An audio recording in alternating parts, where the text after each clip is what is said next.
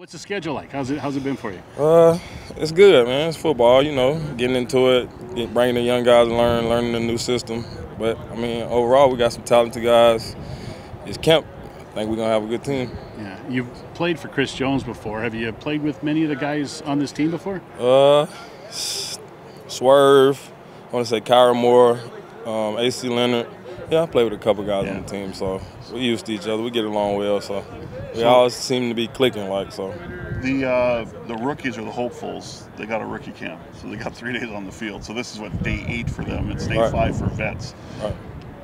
As a vet, when you're not on the field as long as they have been, like how do you compensate for that? Because I, I, am looking at you right now. You look tired. So it's football. You got to. I mean, I, for me, I just give everything I got out yeah. here. So I mean you know camp gonna be the hardest part. You can get through this camp, then so you ain't got nothing to worry about. It's Coach Jones, so you know it's gonna be hard. But at the end of the day, like I know they tired because if they was here after our day one, and if they was like that, and they had three days by themselves with him, so you can only imagine how they went through it. So I mean, for us vets, it's just like getting back in the groove, getting your feet under you, like putting them in the right positions because.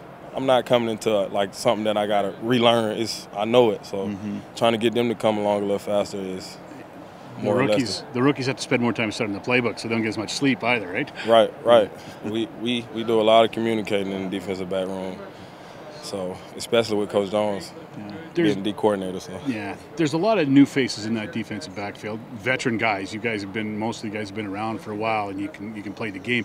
How tough it is it to just get all everybody get everybody on the same page and get that communication going so that you're successful? Uh, that's that's what come with being a vet. Like majority of these guys, like Ed Gainey, we play together with Jones, so it's just like bringing the, the younger guys on so they can understand where we're coming from and with that, that's that's with, with a lot of uh, rewards comes a lot of responsibility. So that's just us bringing them along. If we can get them to come along, then we'll be able to gel all together. Is it incumbent on a defense to set the tone? And maybe this is a silly question because Chris Jones is your defensive coordinator, but it seems like he wants the defense to really say it's going to be a tough night, and then it feeds off into the other phases. You you know that, like you know what he bring bring certain guys in for, so he want dogs out there, and, and that's what it is. Defense wins championships. We set the tone, and we want everybody to play like we play. Yeah.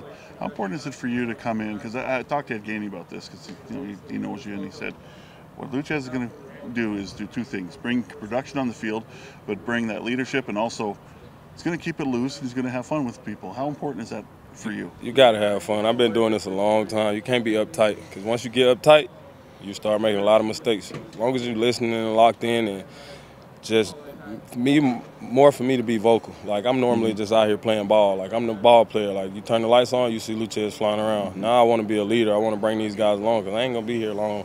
Yeah. But as long as I'm here, if I can bring them along, we're gonna have some good ball players. We're gonna have a great, great football club. Yeah.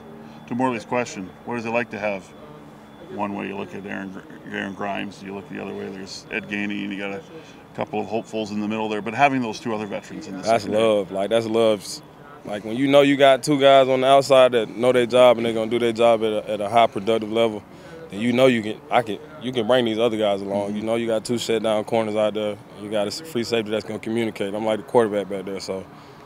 Do you do you want to? Do you need to play more snaps in preseason to make sure you guys are ready because of the situation you're in with all the new guys? More snaps. Uh, I'm just ready to hit somebody other than my teammates. To be honest, I've been waiting on this for about two months now. I get I get bored sitting at home.